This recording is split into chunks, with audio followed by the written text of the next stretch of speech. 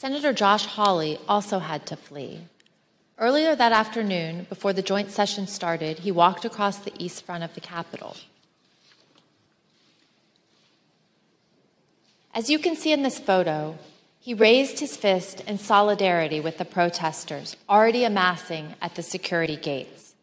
We spoke with a Capitol police officer who was out there at the time.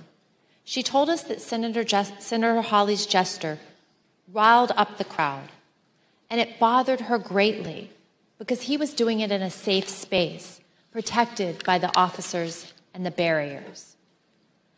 Later that day, Senator Hawley fled after those protesters he helped to rile up stormed the Capitol. See for yourself.